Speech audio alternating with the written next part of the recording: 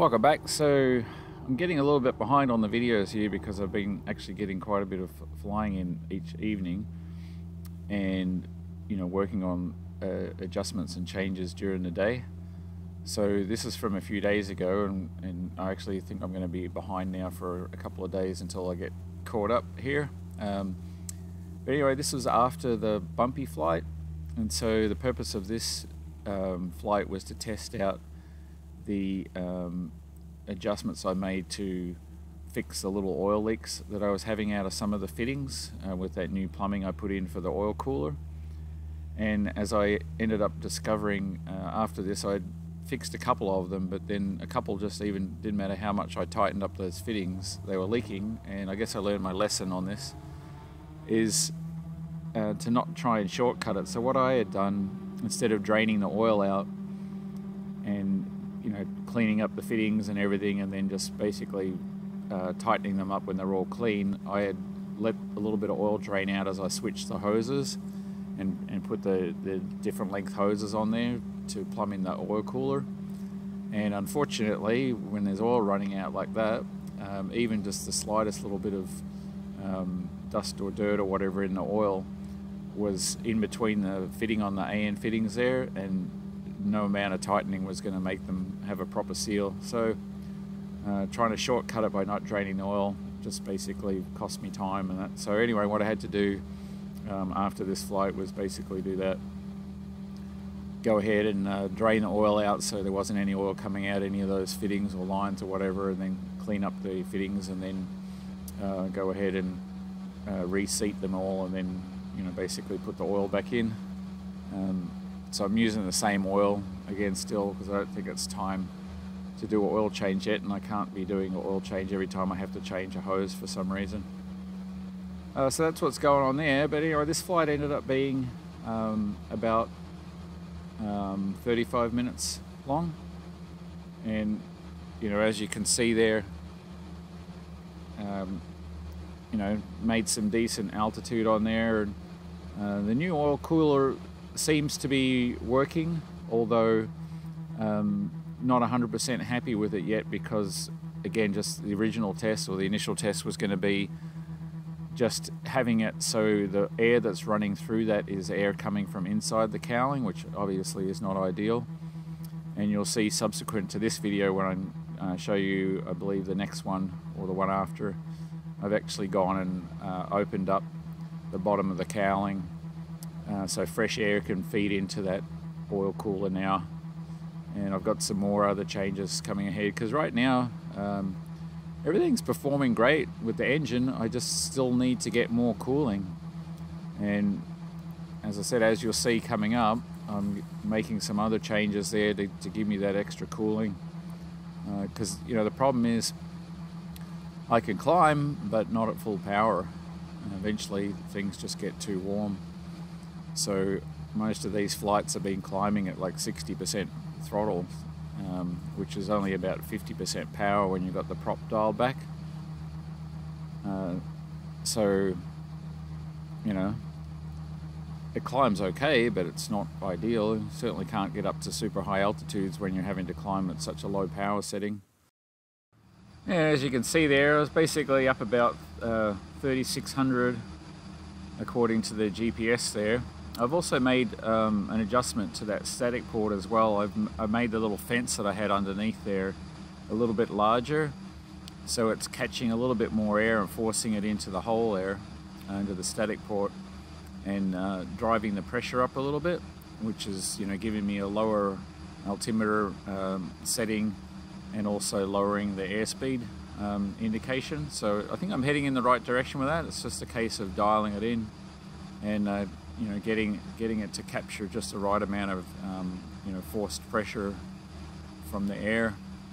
Uh, but yeah, it was pretty smooth out on this flight, and I think I'm going to start doing this uh, in the evenings now because uh, that's what happens around here. The wind dies down around about five o'clock, and the sun right now is setting just before six. So you know, if I take off right around five o'clock, um, I don't have uh, to worry about so much turbulence or anything, which is always nice. and uh, it's a pretty time of the day to fly as well and it allows me sort of gives me the day to make a bunch of changes and get everything ready or whatever and then uh, you know pull the aircraft out uh, right before the sun starts going down and, and, go for a flight so I was actually really enjoying this one and I'm starting to get to the point now where I'm really comfortable uh, just in the aircraft I don't feel sort of you know nervous that something's gonna go wrong or whatever um, what I have noticed though, and I think it was after this flight or the subsequent flight to this one, that the uh, other seal in the uh, redrive, which is the main one that goes around the large flange at the back there of the redrive, um, the large flange on the prop shaft, that one has started to leak now as well. And I tried to see if I could find one of those in the Viton material, uh, but they don't make that seal in the Viton material. And the one that I have is um, already the most high temp one that's available, and it's a 300 degree one. So that one should be uh, okay. And I think what's happened is it's this one that I have in there right now is just sort of worn because I think for a while there, this particular seal was still in there when I wasn't running it with the full oil bath in the redrive. So uh, anyway, I've ordered a new one, and that'll be here in uh, the next couple of days, and then I'll be able to, you know, do the same thing again. You know, pull the redrive out, pull prop off, pull the redrive out, and uh, have to press out that seal and and put the new one in. But then after that, you know, all the seals have been changed, and so it should be good. Just a uh, tiny little bit of oil leaking out of it, but you know, it's not going to get better over time. So I just need, you know, to change it out now.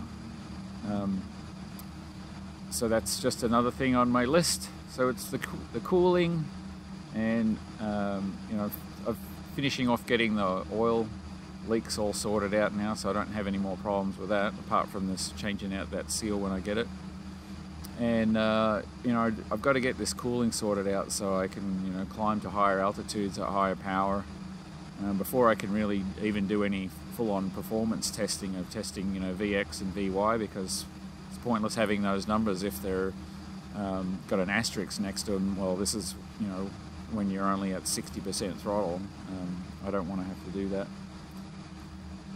And you probably already might have noticed that I didn't have uh, cabin uh, radio audio uh, for this particular flight. Um, I thought I pressed the record button on my little mini recorder, but apparently I didn't. So, but I have in the subsequent flight. So I've got I've got uh, since this flight, um, I've got three other flights that I've done um, that I haven't, um, you know, uploaded the videos yet. So I'll be putting those out. I'm, I'm not going to sort of skip anything, uh, but I'll catch up.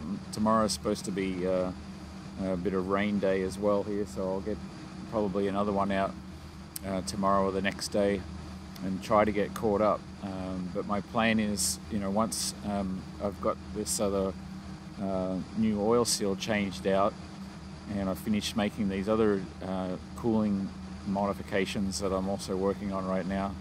I want to try and you know get in these flights here like an hour every day at least and that way I can sort of um, you know get through all the stuff I need to do for uh, you know getting the 40 hours flown off. Uh, as of this um, time now when I'm recording this I've actually done 17 flights altogether, and I believe I have um, seven seven hours, just over seven hours on the aircraft already in the air.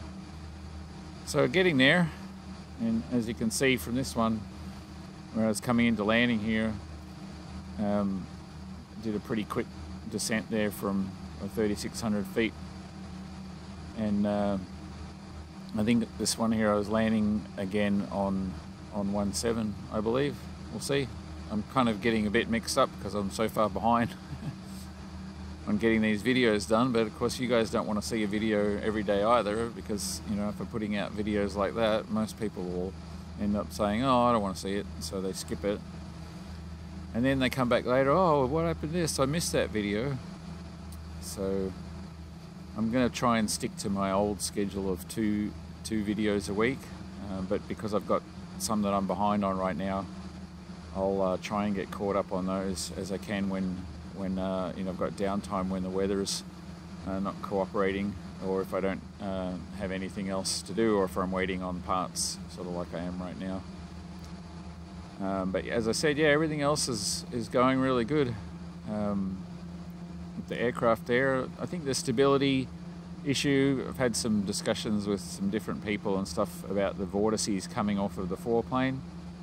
And that's something, you know, that we can adjust going forward and figure out the best way to change those tips out. Um, possibly like a scimitar shape when you're looking on the plan view, uh, just to have them sort of curving backwards into a point rather than sort of be sort of Hershey bar square on the ends like I have them right now. May reduce uh, some of the vortices on there but uh, this is something that we'll have the ability to test um, on a model uh, in a wind tunnel uh, once I get sort of sorted out and we've got everything happening over there on the west coast. So because it'd be nice to uh, clean that up and reduce um, what's probably some drag that's being generated from those vortices coming off there. And as you probably already gather here, I'm on uh, the uh, left-hand base for runway 17 here. And I'm still still actually dialing in the landings here. I don't want to come in too slow and drag it in, but you know, not having flaps, that means I'm coming in you know, uh, over the fence at at least uh, 105 and more comfortable uh, 110 right now because, you know, the aircraft, uh, at least the foreplane, stops flying there at around about sort of 85, 90 knots. And I definitely want to have the mains on the ground uh, or touchdown already when I get to that speed. So that means I need to be, uh, you know, coming over the threshold there at about 100 knots. Because you know once you um, pull the power back to get it to slow down uh, you've got to keep the nose up. And so that slows you down there from you know 100 knots to 95 pretty quickly. And then next thing you know you've got 90 knots and uh, and the foreplane wants to stop flying there and you start getting the alpha that's a bit high but we'll see how this landing looks here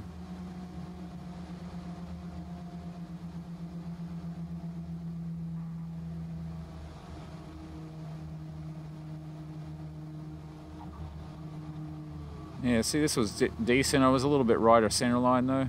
Um, but as I say, it's a case of you know figuring out exactly what the best, uh, smoothest um, approach speeds are for this. And obviously, in the previous flight, it was just let's just get this thing on the ground.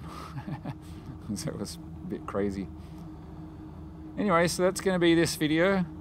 Uh, look for another one. Um, in another day or so, maybe tomorrow or the next day. Um, it'll be one of the two. And we'll have the next flight for you, which is the, I think the, the next flight was the one that was an hour long. Obviously, I won't show the whole thing, but it's kind of boring. But um, anyway, that's going to be the video. Thanks again for watching and tune in for the next one. Cheers.